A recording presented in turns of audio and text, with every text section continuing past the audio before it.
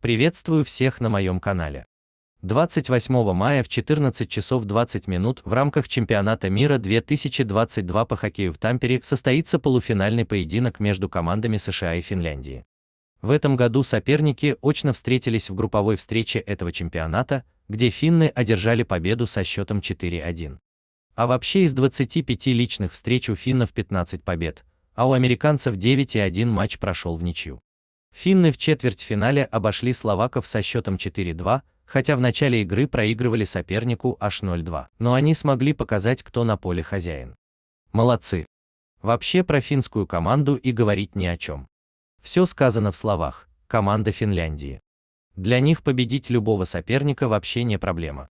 Лишь бы не допустить ошибок. Американцы в четвертьфинале также безоговорочно и в сухую разгромили команду Швейцарии со счетом 3-0. Хорошо играют в зоне соперника, но хромает оборона. Да и атаковать нужно побольше. Если обратят на это внимание, то может быть и смогут проиграть не сильно. Букмекеры и эксперты со всеми вместе взятыми прогнозистами в один голос однозначно и бесповоротно заявляют лидером и фаворитом в этом матче команду Финляндии.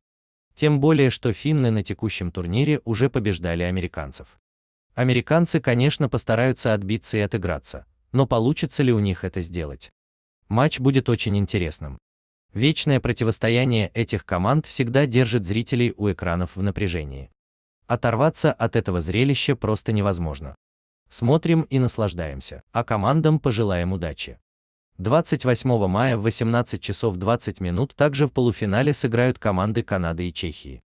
Полуфинальные поединки покажет телеканал и сайт Матч ТВ. Затем после полуфинальных встреч 29 мая состоится финал. Поединок за третье место пройдет в 15 часов 20 минут. Финал состоится в 20 часов 20 минут. Всего хорошего. До новых встреч!